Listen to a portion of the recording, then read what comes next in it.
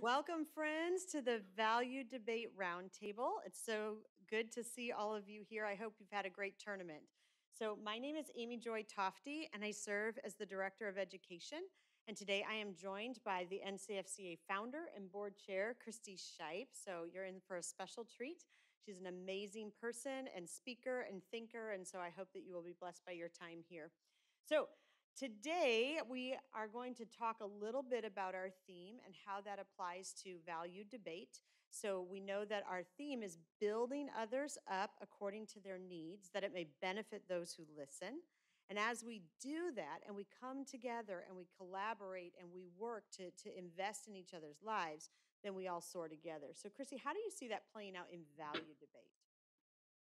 As you just said that, I thought, I think that the benefit to those who listen to value debate is actually found in the clash of ideas. And I know that sometimes we're afraid of that. We're afraid to disagree with other people.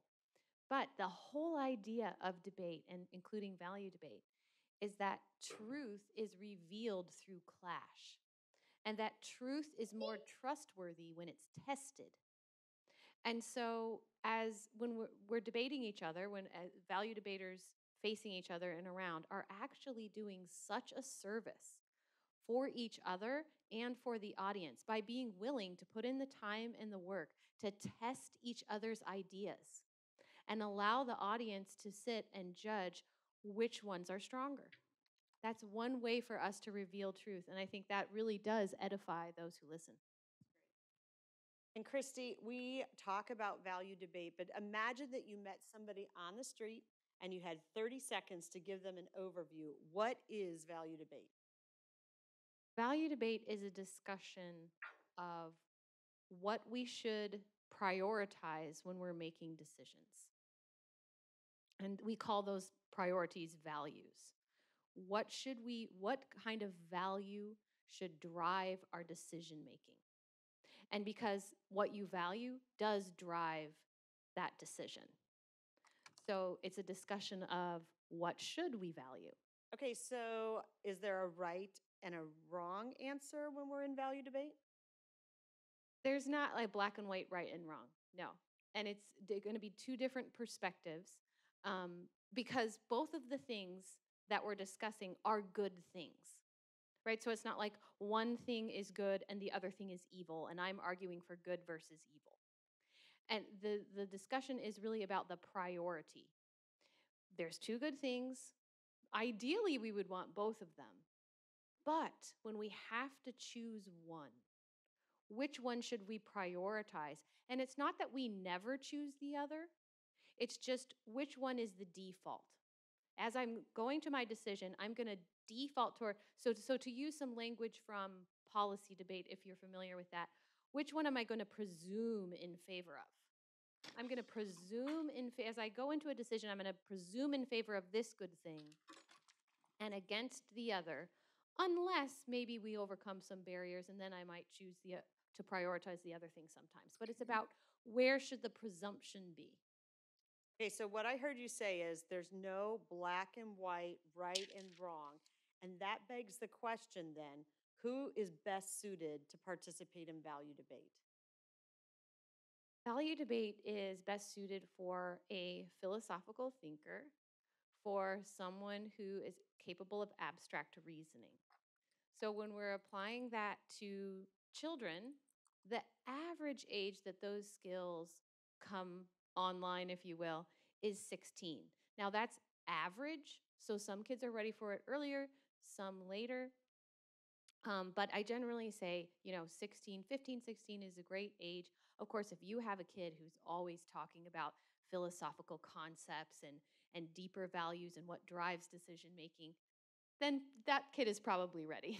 I heard you say once if, if your son goes to bed with a Plato book or you know, yeah. that kind of book under, then maybe they're ready for value debate. Right. We actually met that kid. Okay. Yes, a young man. He was 13 years old and he was studying the philosophers like there was no tomorrow. So they, they do exist, they're out there. So exist. if you had to guess policy first, value first, what would you say? On average, again, I would start younger students with policy debate because it's concrete thinking. And so most students don't develop that abstract thinking you need for value debate until a little later. However, that's that's individual, and it's not like if somebody enters the league, say for the first time at 17, that you need to force them to do policy debate first. They may be very capable of already doing the abstract reasoning required for value debate, and just start with value and only do value. I mean, that's fine. But when I'm starting, like for my kids, I've started them all with policy debate when they were young. Okay, so who's the they? Sure, my kids, yeah. So I've got five kids. Um, Emma just graduated from college, from Patrick Henry College, and is getting married in August to a wonderful Christian young man. And then Rachel is my second. So they, they all competed in NCFCA. And she is my creative artist baker. And so that's the career she's pursuing. Um, Allie is a junior at Patrick Henry College and doing journalism. Aslan is so I, those three uh, girls are biological, and then I have two boys that we adopted 10 years ago from Haiti, and they are awesome. And Aslan is 16, and he is actually in public school um, playing very serious football, which is fun. And then my youngest is 13, and he competed this year in policy debate and several speeches. I'm still homeschooling him, just finished seventh grade. Okay, very good. So when you're talking about who makes the decisions for whether we do policy debate, who does, who makes the decisions for value debate, who should speak into that decision? Parents first of all because parents you know your kids and what their interests are and kind of how their brains are working right now but also you know in combination with if you have a coach in a club you can get their feedback especially if as the parent doesn't really know what debate entails. It's great if parents work in um, you know in combination with the cl- the coaches. The one thing to know if you have students who are trying to figure out what to do this year, that that's debatable camp is actually going to show kind of the same issue from a policy side and a value side to dif- differentiate the difference and talk about what would that look like. It's a really great way to gauge is your student able to make that abstract jump so when they hear the, hear it presented from the value side can they follow that do they understand that do they have the logic and the reasoning to be able to do that or are they better suited for something that's going to be pretty concrete? So that'd be a great opportunity. Okay, how many of you have been to a previous session? So what's coming next? You're going to stand up and move. So if you can grab your things, we're going to do a would you rather question since uh, after all this is value debate, okay? So, would you rather get the good news first or get the bad news first? So, good news people come over here, bad news people come over here.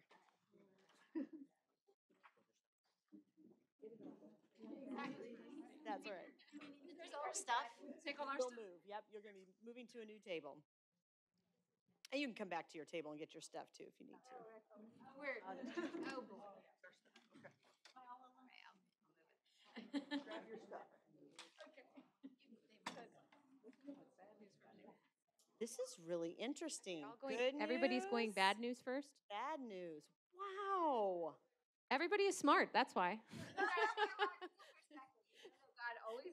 God works good out of. We're gonna we're gonna end with the hope. Yes. This is ba- good news or bad news first, Hill?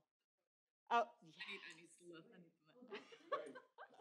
that's this is bad. That's bad this is news good first. over here. The good news first is over Oh. Okay. All right. So this is just a fun activity, but what you're going to do now is look around your group, find six of your best new friends, and find a table to sit together. Okay? Here. So the good news first people already have their group. yes, your group is Just already you. formed. Feel free to sit at this table right in the front too. We're not scary. Alrighty. I wanted to. Hi, what's your name? Oh, you have. Blaze and, um, the other one. Everybody knows you. Because your last name is Schultz. You know the twins? Do you want to come right up here? Oh. This, here we go. Oh, Excellent. You're just arriving. Just fill in at one of these tables. One of these two in has front tables here. Just a few. Maybe this one right here would be great. Awesome. Yeah, but then we only leave one person here, so. Okay. So we know that constructive community is the catalyst for growth. So one of the things that we're doing in these roundtables is we're participating in constructive community. It's a brand new community. You don't know each other, but you're going to get to know each other a little bit over the next hour. So these are great things to do in your home and in your club. Have new families over. Do some of these activities. It's a great way to naturally introduce communication skills into your children. So here is how we're going to get to know each other. Go ahead and introduce yourselves to the people at the table. Tell a little bit about yourself. And we're going to mix it up because we're on day four. So let's do um, let's do something that is unusual that most people wouldn't know about you, and then share your greatest pet peeve when watching, judging, or participating in value debate. Okay, we'll take about eight minutes, so kind of judge the number of people around your table. That'll give you an idea of how long each of you can speak, and we will come back at 11:28.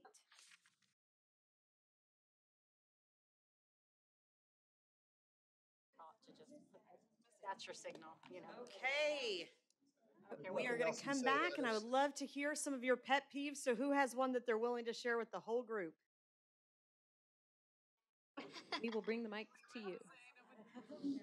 expectations. Uh, Can I be the spokesperson? Um, So we had a couple things. One was when the uh, competitor blames a judge in, in a sense, like, yeah, that judge didn't understand what I was saying or whatever. and- And, and it's, I, I, my thought was, we've always had the saying, I, you never hire a bad employee.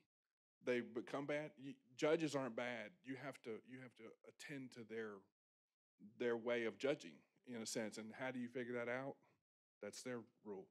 Um, the other thing that I thought was, uh, I've seen some debates where the competitors begin to become so close in their position, you start to get confused as to who's really debating what what policy, and that's you know stay apart, stay on stay on your stay in your lane, and work from there.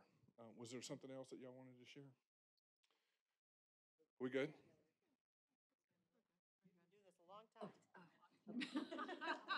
All right, how about over here? What pet peeves did your table come up with? Oh, man.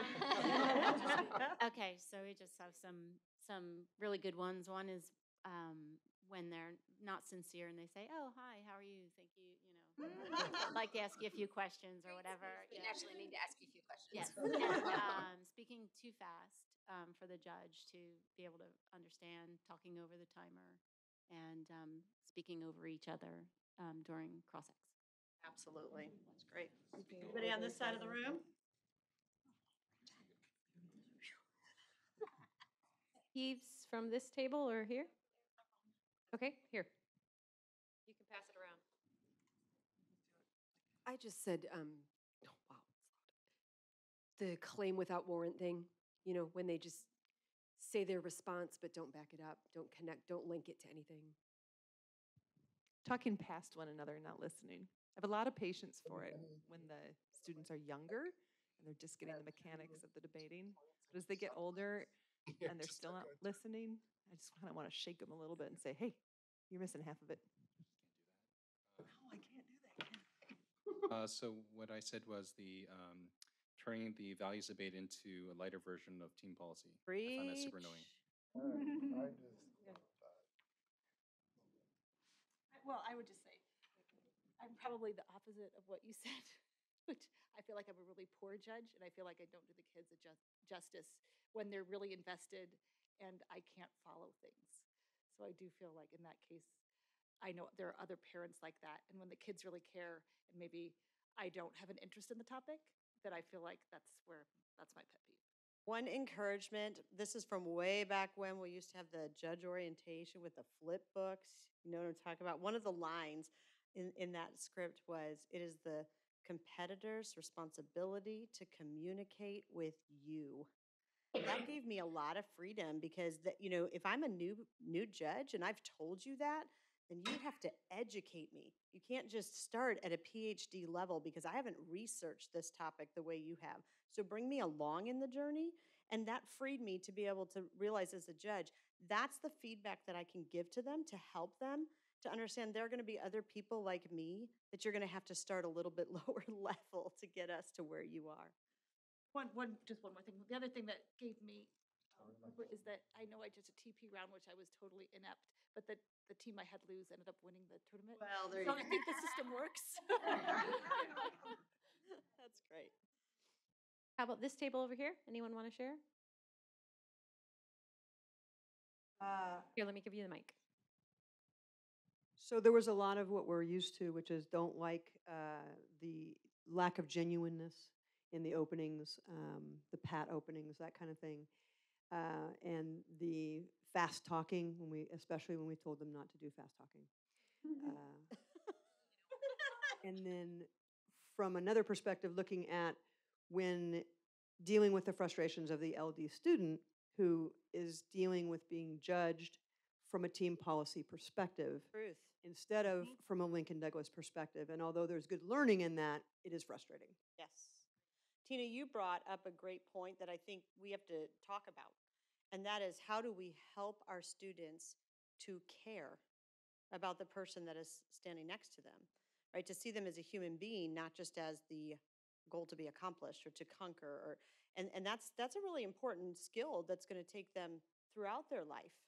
We're always going to have people, difficult conversations that we have, but that is a person made in the imago Dei, made in the image of God, and we have to treat them with a certain level of respect. And, and that is a growth process for sure. For sure. I have one, um, which is just they don't they leave use so many big words and don't simplify it that you just get lost in it.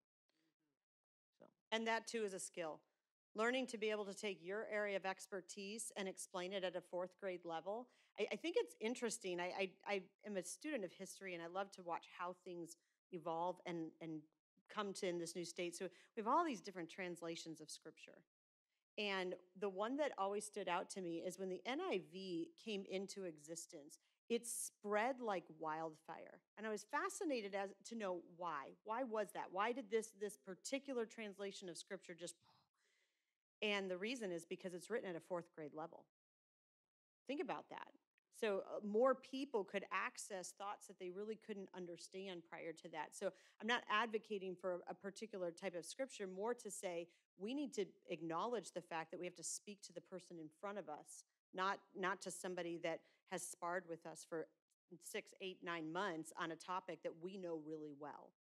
So filling in the gaps for people. Th- these are great. I, I love these. Um, Christy, one of the things that we hear often is is what this gentleman said here about value debate becoming mini TP.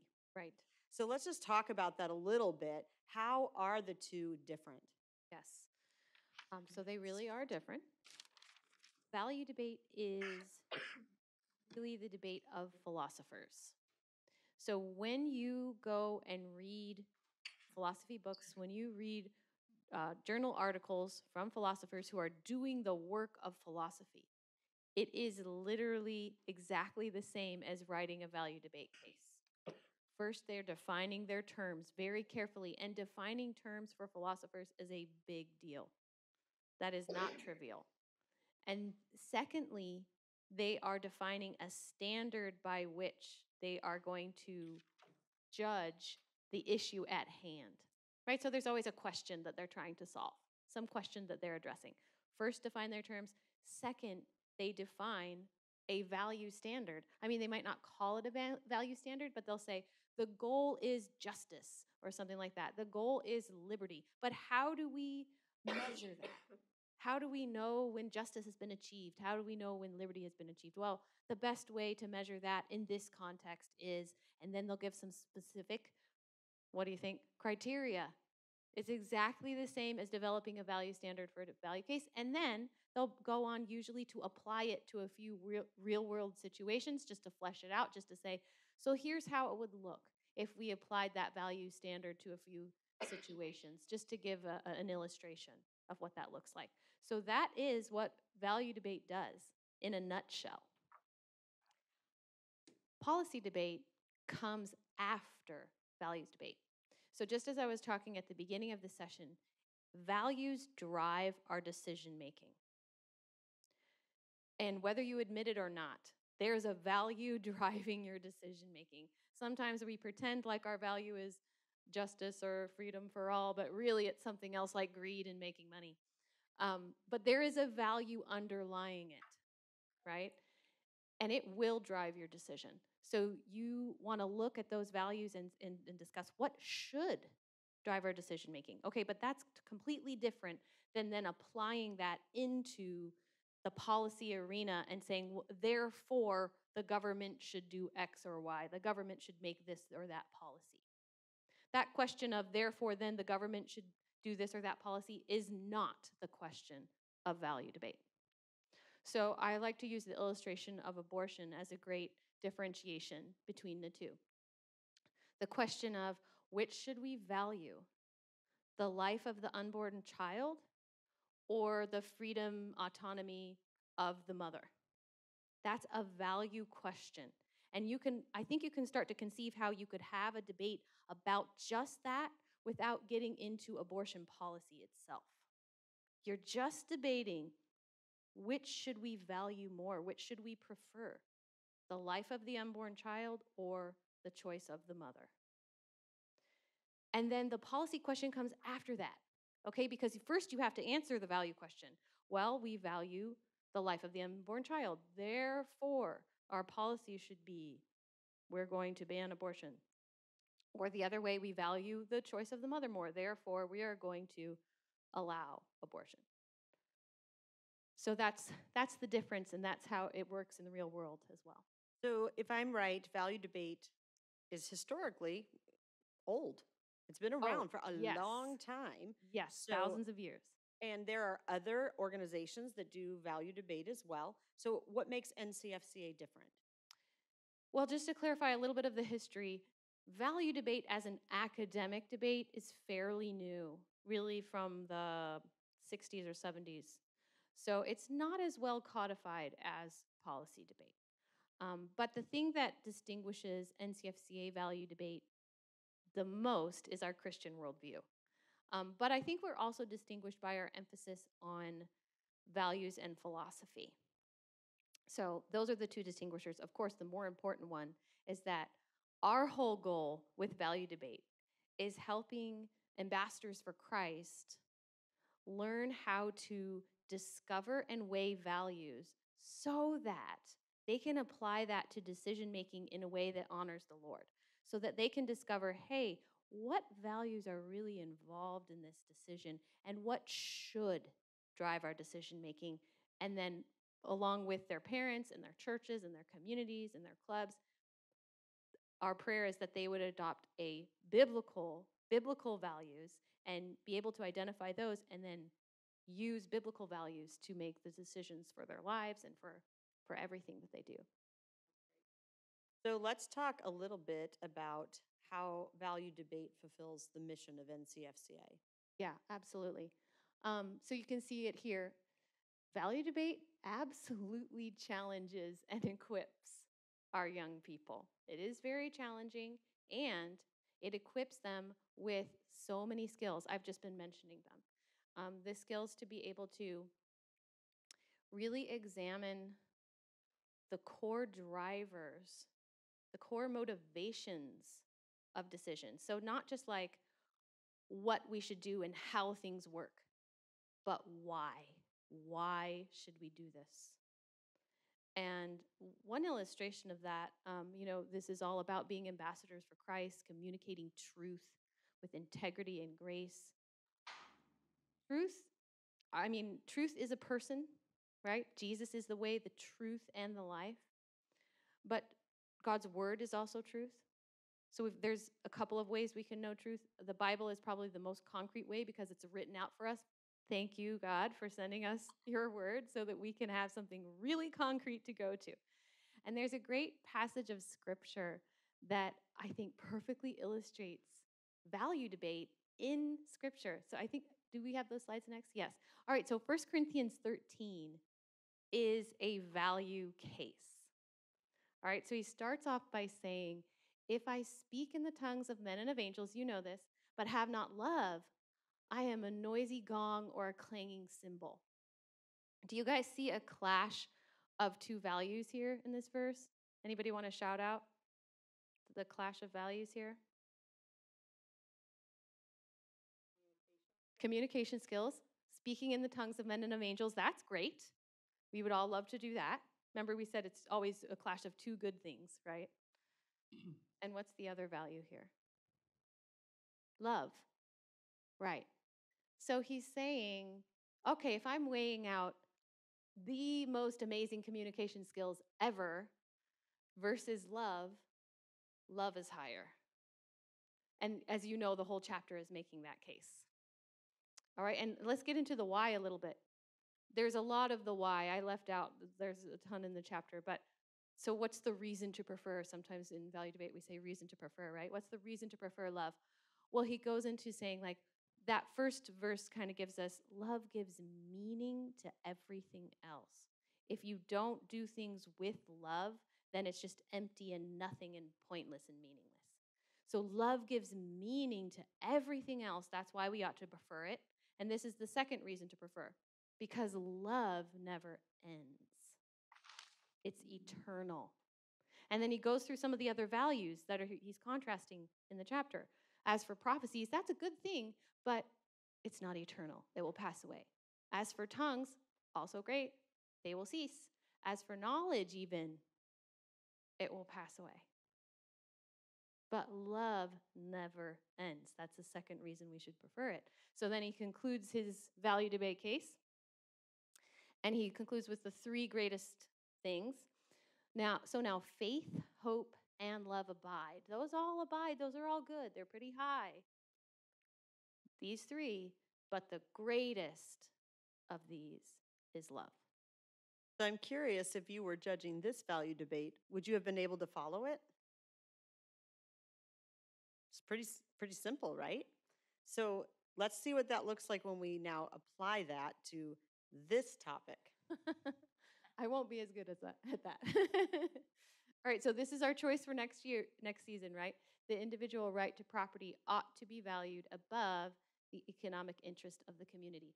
I just I want to apply just that Christian worldview to this though.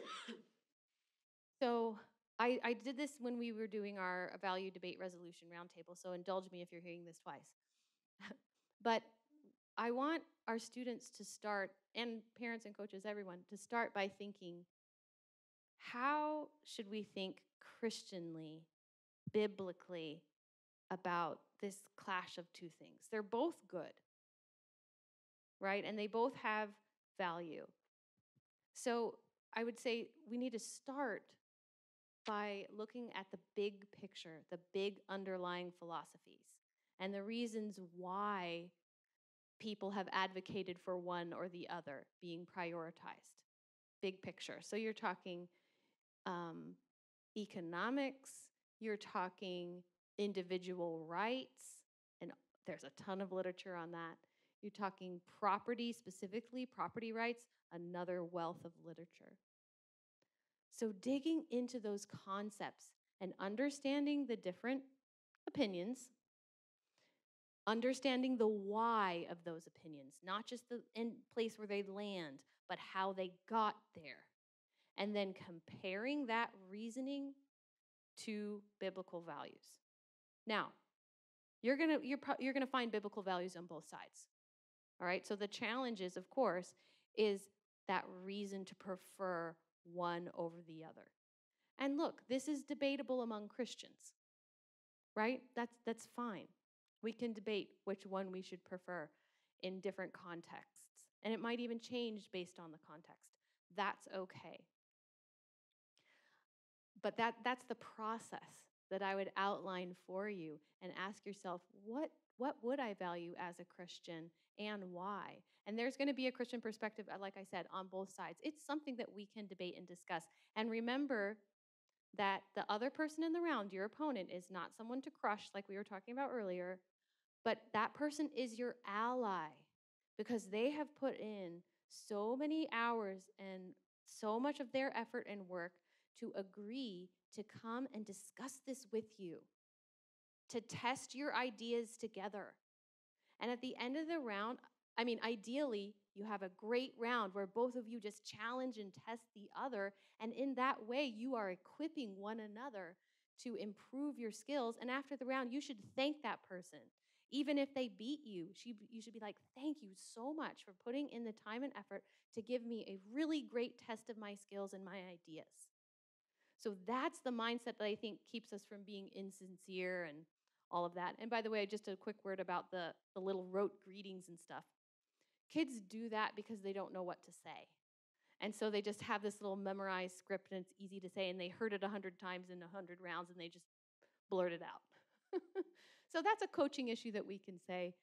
Just have a great opener and use your individual, personalized to your case opener, and you don't have to do all that ritual stuff. Once they get comfortable, sometimes I let my little guys do the ritual because it helps them feel safe and like they know what they're doing. But anyway. That's great. Several years ago, a group of NCFCA folks met in Texas for some strategy meetings to really think through the direction of the league for the next several years. Where are we? We started with where have we been? Where have we been? Where are we right now? And where is the Lord calling us to go? And values were the underlying issue that we were looking at. So, talk about our values and how they drive our decision making in NCFCA. Sure, yeah. So here are our values redeeming truth, godly wisdom, gracious communication. You can see that in our mission statement as well. And of course, the truth and the wisdom are in our mission statement enduring excellence, constructive community. So I've already been touching on some of these as we've talked and just showing you how our values inform the way we want value debate to look. That constructive community, I was just talking about that.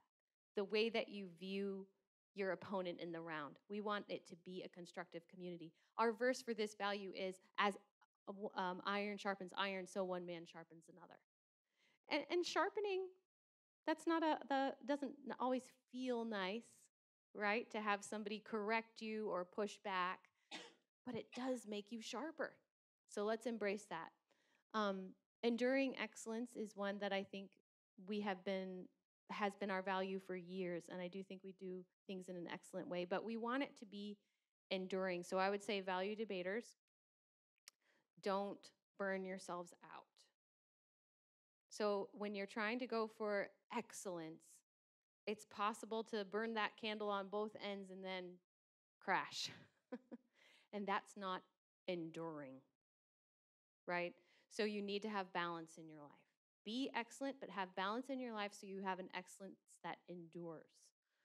Gracious communications, we talked about a little with some pet peeves, right? And, and Amy Joy, you were getting to this. It's, I guess it's easy to get into our heads and just be thinking about the arguments I want to make and the case and oh, this piece of evidence and what, what am I saying here and the outline, rather than to think, I'm discussing this with another fellow human being and I'm speaking to an audience of fellow human beings. and we want to just exude. I hope you were here for Mike Shutt earlier. We just want to exude God's grace. God's grace fills us up and then just spills over onto everyone else. It goes along with our verse we chose for this uh, nationals that our speech is edifying to those who listen. Um, the godly wisdom and the redeeming truth. Godly wisdom of course, it's based on who God is. And I would just refer to Mike Shutt's devotional this morning and also his speech here that we can't know, we don't have wisdom without knowing God, right? The, the fear of the Lord is the beginning of wisdom. And with philosophy, especially, that's a search for wisdom. It's really remarkable to me how many philosophers have rejected God and yet still think they can find wisdom. You'll be comforted to know, however, that there are many philosophers and some major names and some names that would be familiar to you who are Christians, who definitely embrace God. Um, but of course, in the more modern times, a lot of them reject that. The funny thing is, is that what I'm seeing in, in philosophy is that as they reject God, many philosophers come to a point where, well, we can't know anything. It's impossible for us to know anything. So without that godly wisdom, that's where we're going to end up with when we're doing philosophy. And then the redeeming truth, I again, Mike Shutt was talking about this. We want our kids to learn how to identify and apply the truth in a redemptive fashion, to bring redemption into the world. As that's what Jesus did for us, and that's what we do in a smaller way as Christians, as little Christ, as ambassadors for Christ, is to bring that redemption into other people's lives. So that's our, th- these are our values, and I hope they inform your value debate. Okay, so our next activity together, we're going to start. If you'll take the cards in the center of your table, if you're willing to write your name and contact information uh, on the card, I want you to know that every piece of feedback that you give to us, we read. And if there's ever a question or I ever think, hey, I'd love to know more about this, I will personally contact you. Uh, if you don't want to leave your name and email, that's okay too. But I want you to think to, to the value debate that you've experienced in the past calendar year. And I want you to think about one, we call it a rose, something that just really stood out to you. Maybe it's a particular round that you saw. Maybe it is um, a victory that you saw in a student competing and a change that you saw in that student, but just something positive that you've seen in the past calendar year. So go ahead and that, jot that down on your card, and then we're going to come around. I'd love to hear your ideas, but we'll give you a few seconds to think.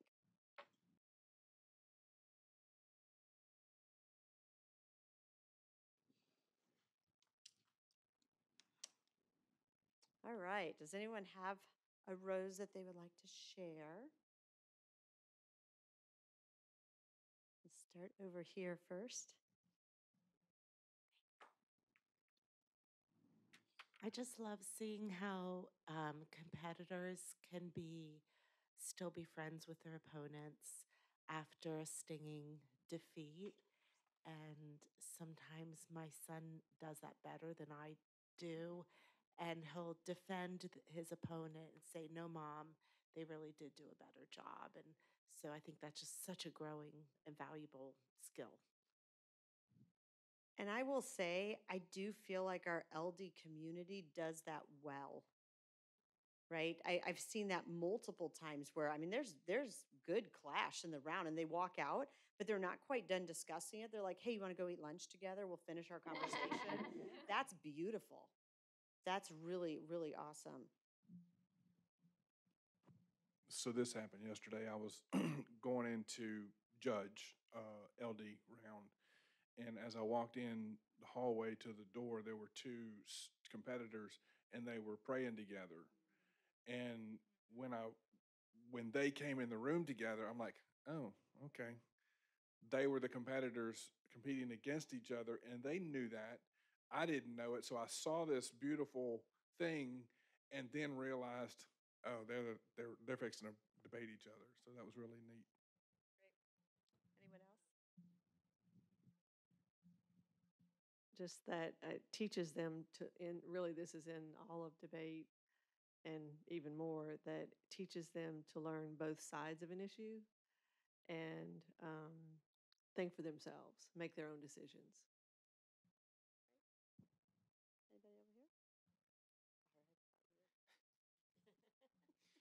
So I've been coaching debate for quite a while, and I think one over the just the course of the many years, one of the biggest roses is seeing these students when they come in and they're young and they're scared and they're deer in the headlights and they don't know how to st- they just don't want to stand up in front and they struggle to get through and then you as you work with them and the development of them over the years where they're confident in front of a, a room full of people and and it's not just that success though but as i've seen them grow in their skills i've watched so many of them grow in their character and that to me honestly is the biggest rose is seeing that so working with these students over like a decade it's not just the skills but it's the character of the students that i've been able to work with and it's been such a blessing Okay. All right. Anybody on this side of the room? Very similar to that one, so I'll just follow up on it.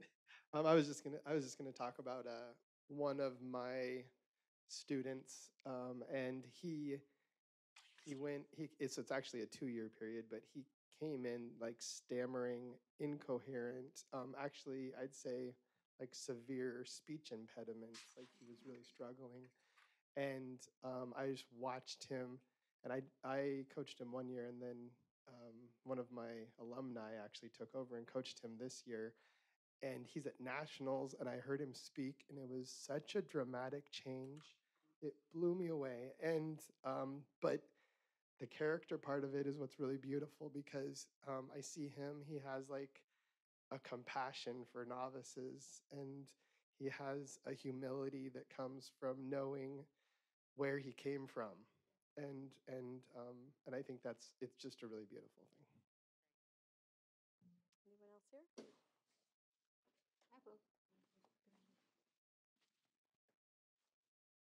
Okay, so I come from a slightly different perspective than probably most of the people in this room because I am an alumni. and I think that one of the biggest changes for me has been spending more time with the parents at tournaments and getting to see kind of, you know, what goes on in judge hospitality, you know, the kind of the magical place where all the snacks come from. but I it's been kind of inspiring and heartening for me to see that all of the parents who are involved in speech and debate are so much more concerned with the character of the students. And that's what like we've been hearing now. Like these people want their children to succeed, but they are much more invested in their children becoming godly people, becoming wise people. And it is such a a blessing for me to see that this is really what this community is about. Um,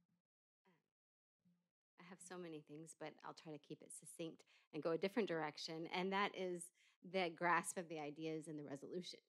Because I've this is our fourth year in the NCFCA, and I've come to be convicted that it's the resolution is slightly prophetic because I have seen a pattern between the, the, the resolutions where they dig into them and they study those topics, and the next year it's extremely relevant that they understood that from energy to privacy to candidates to terrorism, all of those things, and my kids have walked away with a much deeper understanding of the concepts that would come up the next year. And so when we when we got this value resolution this year, nobody knew what these principles were, what they would mean, why we're having this discussion. But the growth in, in my LDR this year in studying these principles and why they actually matter has been um, encouraging because he's dug into the Great Reset and the Econo- World Economic Forum and all of these ideas that they're going to have to transhumanism, right? They're going to have to face these and have a position. And so, digging into that, they're they're, they're going to go forward with some knowledge that will enable them to make better decisions and advocate for hopefully what we want them to advocate for. Great, thank you. Gentlemen I have a small one here. Um, I, I, this was something I saw during the uh, online year. Uh, so a bunch of students in our region. Uh, normally, I often seen people being very competitive and trying to sort of hold things back. But with LD, what was interesting was just saw a group of people being willing to share and to say, uh, just to help each other and say, hey, there's a better definition here, or there's a better source, or here's a philosophy you could think about. And it was a big contrast to some some of the things I sometimes see with uh, team policy students being very protective and secretive. But just seen this other side open up where everyone's really helping each other, and I saw this thing where a lot of these students that were not breaking suddenly. I think last year I saw this really. To me, was surprising. I, I sort of attribute to this um, willingness to talk, to talk and share and, and encourage one another. Seeing so many of these students all break to nationals was really uh, an encouraging thing that people were not hiding. They're just trying to help each other. They're being selfless. I thought that was very encouraging. That's not a little thing, by the way. That was a big thing. Well, you know, we're all here at the nationals, and we are very proud of our kids, and we um, really um, admire all the students, you know, who are really good, right?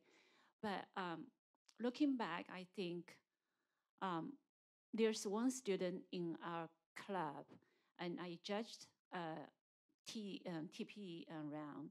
And before I walk in the room, they were already there. But before the round starts, the student asked the other student to go out and they played together. And they came back during the round. Um, he was being, he looks like he's the oldest among the four students. and he was being really gracious um, because obviously the other team were novices. You know, he was being really um, gracious not to pursue like you know something. Um, but then later, um, I learned that um, he's been in speech and debate for three or four years. This is our first year, so I did not know him before.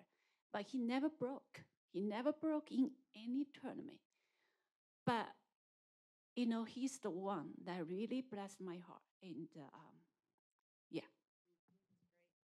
I love that call out because we need to elevate stories of character over stories of just place placings, right? I, I think So about that even really for good. us when we're judging. It's so easy to judge the technical skills. But what would it look like if on the ballot we're like, wow, in that one moment, I really saw your character shining through? How would that influence a student, even if they lost the round? So that's great ideas. We're going to do the next two together. So here's what I, I want you to do think of a thorn, an obstacle, a frustration, something that gets in the way, right? We want these gracious communicators and these value debates. We want them to be awesome. So why aren't they yet? Like, what are some of the obstacles that get in the way in value debate? And then at the same time as you're thinking about that, the bud is let's talk about some ideas for the future. What are some ways that we could address that in our homes, in our clubs, in this league? Is it a resource issue? Is it a conversation issue, a training issue? So put your mind to that and just say, what, what are some ideas that we could implement? We'll give you a little bit of time to think and then we'll come around.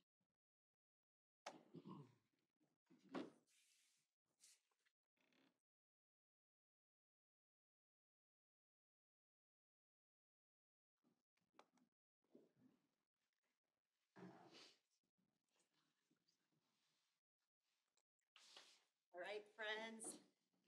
Anyone like to share some of the obstacles that you've seen in your students or even in yourself as you're coaching? Yes. And this is kind of a combination of both. So, one thing we talked about in the pet peeve section is towards the end of the season, especially in region, the cases begin to blend. You know, they've hurt each other, they've lost to that case, so they try to fit it in their case. And um, sometimes I think it's hard for the students to improve towards the end because they uh, they're kind of cluttered with other cases or maybe with a little bit of malaise. So the bud to that is um, in the pandemic, and I know we always talk about what some positive things is. I feel like the kids in our region and across the nation got a lot more connected through chats and Zoom calls. And so, one thing I found my own kids were setting up debates with people from all over the place this spring. I'm like, do you know that person? You know, a- and then they would maybe be on a big chat together, and they would just sort of throw out who would who would be willing to debate me.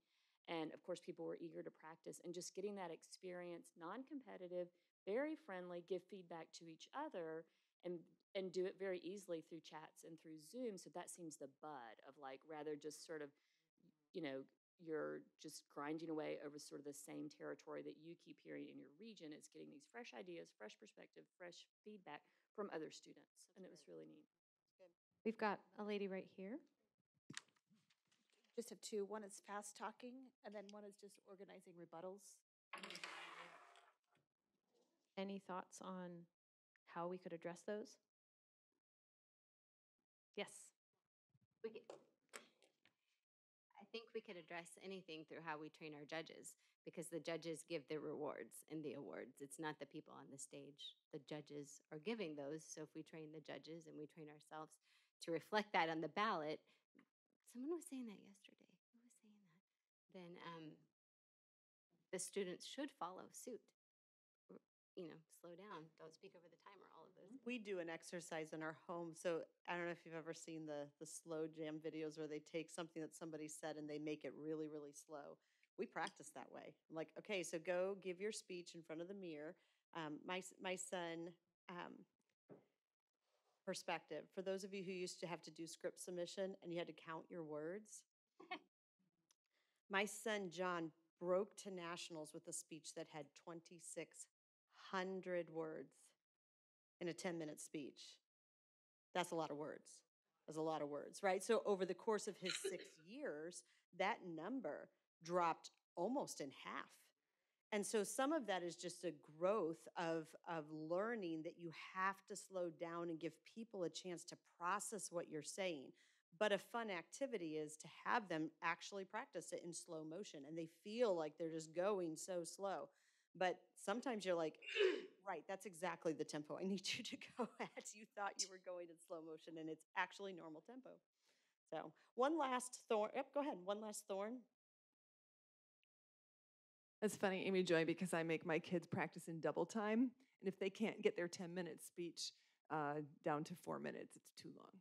Oh, interesting. Good memorization tool, too. Okay, um, so my thorn uh, would be like lack. Okay, so first of all, I'm going to back up. My rose was a younger child being guided by an older brother this year, which was just beautiful because Mama really wasn't, um, didn't have the, I wasn't with her, right? And he, and he was, and um, so then my thorn is lack of content or wanting to go deeper, and as a parent, um, not having the the the time to get into the resolution, but still wanting to walk alongside um, my students. So um, you know, this is my summer that I'm committing to learning LD with my daughter, so I'm available to be with her. And and one of the things I'd like to do for the folks in our club is create talking points for parents, real easy entry talking points that could just be grabbed off the kitchen table and the students can run the discussion right there. But just so, um, like a scaffold to help folks like me enter in with them. That's great. If you, you know, I say this a lot, but answers are cheap, questions are priceless. And if you can increase your toolbox with some really key questions, there aren't a lot of them. You can repurpose almost all of them over and over and over again. But learning to engage your child and give them the opportunity to speak rather than speaking at them, you'll see growth that you can't even can't even imagine. Speaking of growth, Yes. So this is an illustration of what growth looks like. We all know this in plants, but sometimes, and I am guilty of this, sometimes we can expect to teach our kid who's the little seedling right here, and then, oh, in two months, you're going to be a full sunflower. so this is just our final thought to share with you today is that we all need to be patient. We just need to be patient and gracious and generous to our kids and give them time. I know as a homeschool mom, sometimes I'd think, oh, hey, you got this concept so quickly. I'm going to teach you another concept on Tuesday and another concept on Wednesday and another one on Thursday. And then they were just floundering. And I didn't realize how much time they needed to just let one concept sink in for a while before introducing the next and the next and the next. So that's just our admonition to you. Don't get don't get frustrated. Your child is normal. This is how you learn, this is how I learn. It takes time and just enjoy the process of growing with your child. So Christy, next steps for the folks who want to help a new student get into value debate or take a value debater to that next level, what would you recommend? For new students and like people who've never done it before, I'd I'd highly recommend our camp That's Debatable on June 29th. We record it as well, so you don't you're not locked into June 29th. You can get the recording. But this is going to be a very fun introduction. We're going to do fun debate topics. We're not doing the resolutions. Um, so this is to help them get their feet wet, and it's especially for the student who's like, "Uh, I'm not sure if this is going to be fun or if I if I can do it, to help them get the taste for it and love the activity. But we are really going to be laying the foundation for both policy and value debate during this camp. So they won't really realize that, but the foundation will be laid.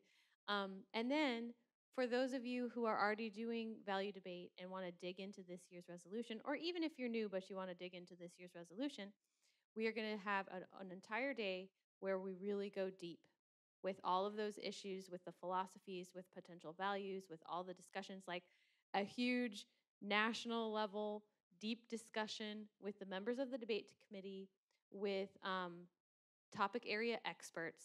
I'll be the MC, and we will have lots of Q and A and interaction.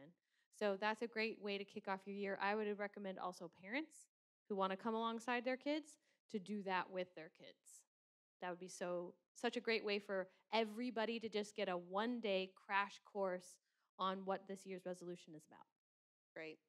We will stay around after. If you have questions that are specific to your student or your club, feel free to reach out to us. Also, I just want to put a plug out there. We are in the process of rewriting our curriculum and, and developing a, a really cohesive curriculum that I think will be a great resource for, for future students. So if that's something you're interested in, if you would say, hey, I've got some background and experience in, in education or in curriculum writing, please, please, please reach out to me. We would love to expand our team to get a few more different perspectives. Uh, my email address is amyjoytofty at ncfca.org. And I also just want to encourage you if you have feedback for the league, please share it with us. We, we take your feedback really seriously. And I think if you look over the past five years, there have been a lot of changes made in this league. And that is because we are responding to the people who have spoken in to what their needs are and how we can best serve them. So we would love to hear from you. You can send those requests. If it's education specific, you can send it directly to me. If it's if it's wider league or based on forensics, you can send that to our office. So we would And, love. and you can write to also debate committee, one word, debate committee at ncfca.org if you have questions or comments or issues or anything debate related.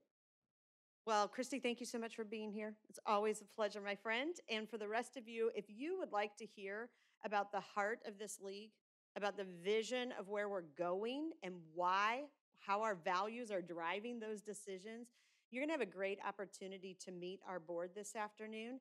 And so come on back and you, you can ask questions. You can ask hard questions if they need to be asked. This is the time to do that. So thanks so much for coming and have a great afternoon.